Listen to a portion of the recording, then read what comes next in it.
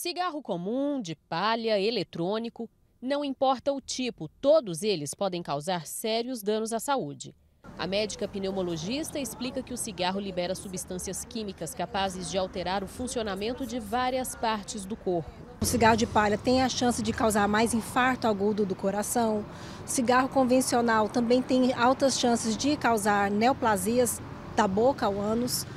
O cigarro vapor, né, o cigarro eletrônico, conhecido como dispositivo eletrônico para fumar, independente do nome que a gente dá para ele, ele causa lesões agudas no pulmão e uma dependência alta à nicotina, porque às vezes a pessoa está colocando ali no dispositivo, no aparelhinho, concentrações que nem tem ideia de quanto que é de nicotina. No caso do cigarro eletrônico, não é só a nicotina a vilã. Outras substâncias químicas adicionadas, como propilenoglicol e glicerina, por exemplo, e a própria bateria, que libera lítio e níquel no vapor, causam sérias consequências para o corpo. O modismo em torno do cigarro de palha também ganha cada vez mais adeptos entre jovens de 18 a 25 anos. Eles acreditam ser uma versão menos maléfica do tabagismo. Tanto os cigarros de palha, que são comprados prontos, quanto aqueles que são enrolados na hora do consumo, são prejudiciais. Enrolar os cigarros de palha na hora, de forma artesanal, não faz diferença em termos de malefícios à saúde quando comparado com os palheiros prontos. Ambos contêm tabaco e produzem fumaça. Diane tem 65 anos e hoje está em tratamento contra o câncer. Ela fuma há 40 anos e, mesmo lutando contra a doença, tem dificuldade em parar de fumar. Às vezes acendia nem fumava, mas eu eu acho que acaba sendo é, não um vício, mas um costume de, de fazer aquela mesma função naquele mesmo horário, como um acordar e dormir e ter fome. Às vezes você tem fome nem tá com fome, mas aí você, aquele horário é de almoço.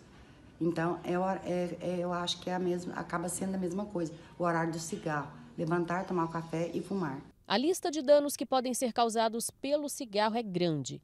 Edema pulmonar, lesões agudas de vias aéreas, linfoma, leucemia, câncer de boca, laringe, estômago e pulmão, aumento da pressão arterial, infertilidade e o infarto é um dos problemas mais comuns. De todas as causas de morte por doenças crônicas, o infarto agudo do miocárdio, uma doença cardiovascular, é o que nos preocupa mais, né? Porque é uma doença aguda que acontece, pode acometer o paciente às vezes até dormindo. Então é uma doença de alta prevalência e de alta mortalidade. E é uma doença prevenível se a gente não utiliza, né, do cigarro, por exemplo. De acordo com o IBGE, entre os brasileiros fumantes, 93% afirmam ter consciência dos malefícios causados pelo cigarro.